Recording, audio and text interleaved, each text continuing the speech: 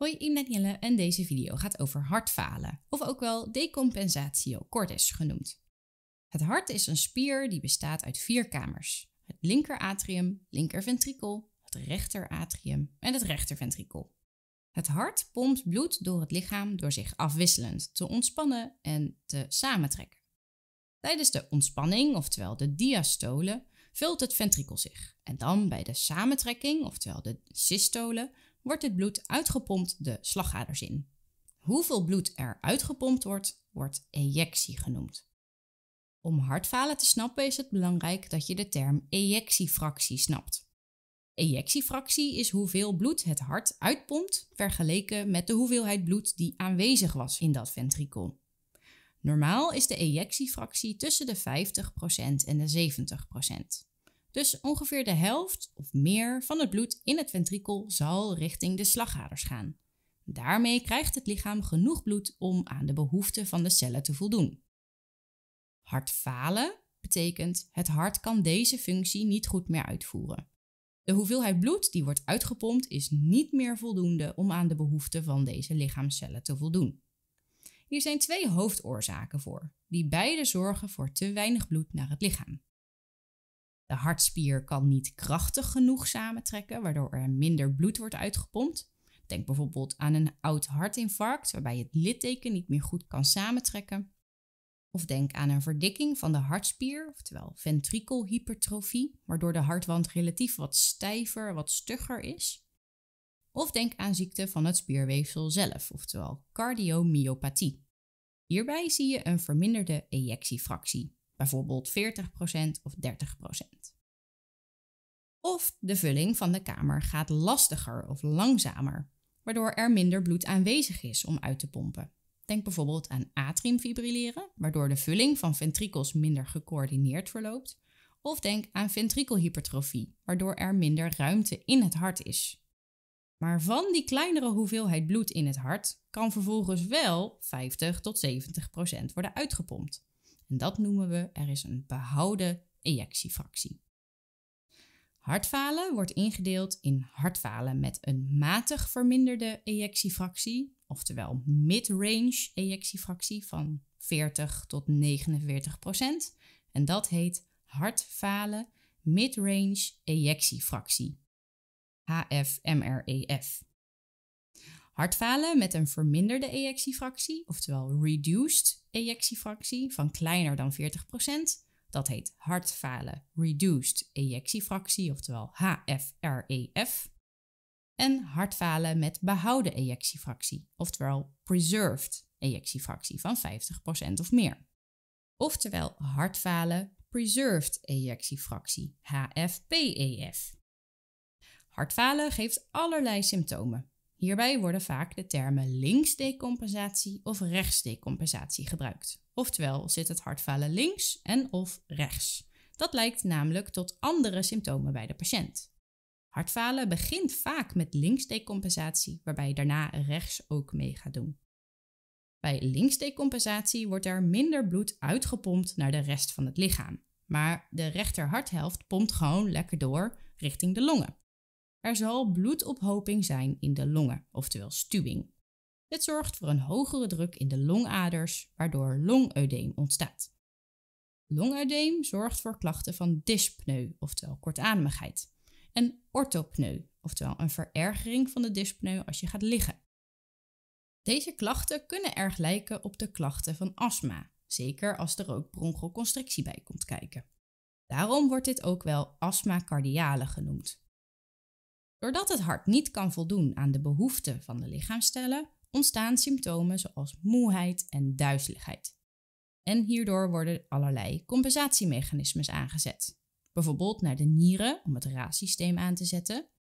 En door het aanzetten van raas wordt er extra vocht vastgehouden in het lichaam.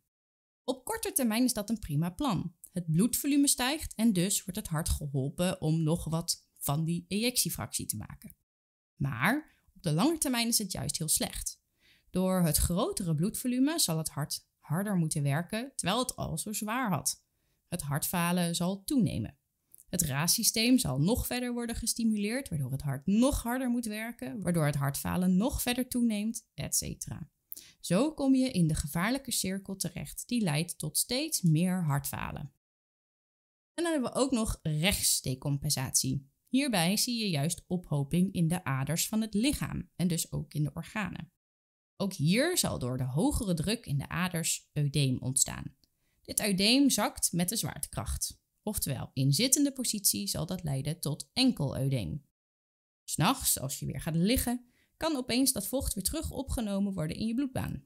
De nieren merken dat en gaan water uitscheiden, oftewel je moet s'nachts veel plassen. Dat wordt nicturie genoemd. De ernst van de klachten wordt geclassificeerd met de New York Heart Association klassificatie, oftewel de NIHA-klassificatie. Klasse 1 is klachten bij zware inspanning, denk bijvoorbeeld aan sporten. Dat geeft verder weinig beperkingen in het dagelijks leven. Klasse 2, klachten bij matige inspanning, denk bijvoorbeeld aan traplopen. Dat geeft enige beperkingen in het dagelijks leven. Klasse 3, oftewel klachten bij lichte inspanning, denk bijvoorbeeld aan aankleden. Dat geeft wel forse beperkingen in het dagelijks leven. En klasse 4, klachten bij alle inspanning en zelfs in rust. Dit geeft zeer ernstige beperkingen in het dagelijks leven. De behandeling is er vooral op gericht om de onderliggende oorzaak te behandelen, waar mogelijk, en preventie van verdere achteruitgang. Verder worden er adviezen gegeven aan de patiënt en kunnen er medicijnen worden gegeven om de symptomen wat te verminderen. Preventie wordt gedaan door de risicofactoren voor hart- en vaatziekten te verminderen, dus het aanpakken van hypertensie, hypercholesterolemie, overgewicht en roken. En zo nodig om de hoeveelheid vocht in het lichaam te verminderen met een vochtbeperking en door niet te veel zout te eten. Belangrijke adviezen zijn om alert te zijn op snelle gewichtstoename, want dat is een teken van vochtstapeling, oftewel eudeem, en dus van de toename van hartfalen. De slaaphouding kan worden aangepast naar een wat meer zittende positie als benauwdheid een probleem is.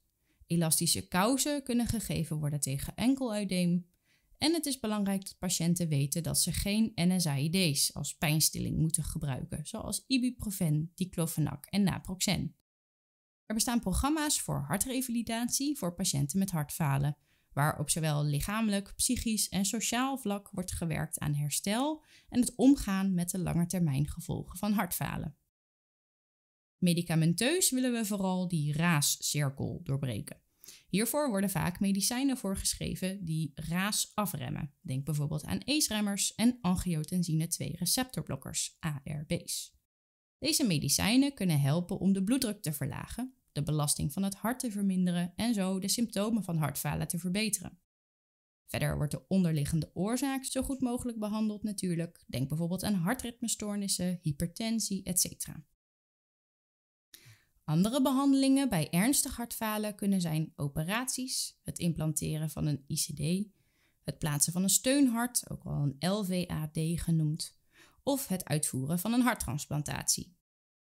De prognose van hartfalen is zeer variabel en is onder andere afhankelijk van de ernst, oftewel de NIHA-klasse, de oorzaak van het hartfalen, de leeftijd, andere aandoeningen die een patiënt heeft, oftewel comorbiditeit, en de progressie die wordt gezien. Over het algemeen geldt dat de ernst zal toenemen in verloop van tijd. Bij patiënten met NIHA klasse 3 of 4 en een beperkte levensverwachting moet op tijd worden gestart met gesprekken over advanced care planning en de palliatieve fase. Zie hiervoor de Pallialijn-richtlijn over palliatieve zorg bij hartfalen. Bekijk ook de video's over de andere hartaandoeningen, zoals hartinfarct, of bekijk de medicatieminis over ACE-remmers en ARB's. En natuurlijk bedankt voor het kijken.